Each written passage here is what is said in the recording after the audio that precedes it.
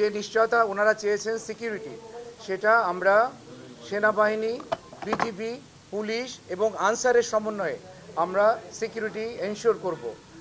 এবং তাদের যে আসামিরা এই অঘটন ঘটিয়েছে, তাদেরকে অ্যারেস্ট করার পরপরই তারা সম্পূর্ণ সার্ভিস চালু করবেন সারা দেশব্যাপী। এখন থেকে জরুরি চিকিৎসা সেবা এখন থেকে শুরু হচ্ছে। কমপ্লিট শাটডাউন থেকে ওনারা সরে এসেছেন।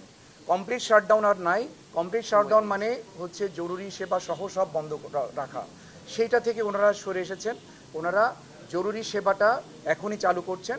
যে নিশ্চয়তা ওনারা চেয়েছিলেন আমরা সেই নিশ্চয়তা মাননীয় উপদেষ্টা দিয়েছেন। আপনারা দেখতে পাচ্ছেন আমাদের সাথে সেনাবাহিনীর সদস্য আছে বিজিবির সদস্য আছে পুলিশের সদস্য আছে।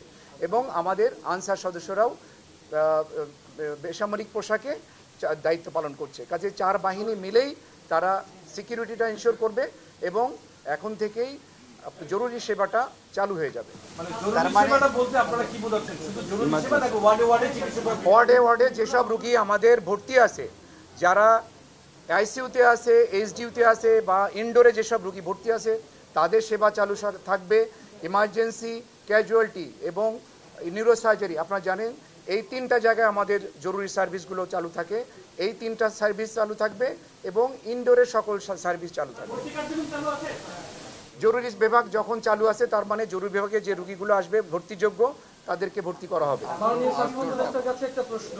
শুধু ঢাকা মেডিকেলেই নয়, আমরা এরই মধ্যে দেখেছি চট্টগ্রাম মেডিকেল, পাবনায়, রংপুরে বিভিন্ন মেডিকেল কলেজ, হাসপাতালে অচল অবস্থা সেই বিষয়ে স্বাস্থ্য উপদেষ্টা আপনি কি আমাদেরকে একটু এনশিওর করতে পারেন এই ব্রিফিং এর মাধ্যমে যে সেই জায়গাগুলোতেও এখনই কমপ্লিট শাটডাউন বা স্বাস্থ্যসেবা স্বাভাবিক অবস্থায় ফিরে আসবে কিনা আমরা তো বলেছি যে এটা তারা ঘোষণা দিয়েছে, তারা ঘোষণা দেবে যে আমরা জরুরি সব কাজগুলো আমরা করব। এখন পর্যায়ক্রমে তারা তাদের কাছে আমরা কমিটমেন্ট করেছি আটটা বড় হাসপাতালে আমরা যে ফোর্সগুলো দেওয়ার কথা বলছে তাদের সুরক্ষার জন্য সেগুলো আমরা এনশিওর করব। এবং এটা এখন থেকে শুরু হয়ে যাবে। পর্যায়ক্রমে? অন্যগুলিতেও যাবে। এখন পরিস্থিতিটা বুঝতে হবে। আমাদের সেনাবাহিনী কত সংখ্যা কত এখন বন্যায় কিছু আছে কিছু আহ, অন্যান্য বিভিন্ন জায়গায় যে আহ, পুলিশের জায়গায় হচ্ছে পুলিশের জায়গায় ডিউটি করছে।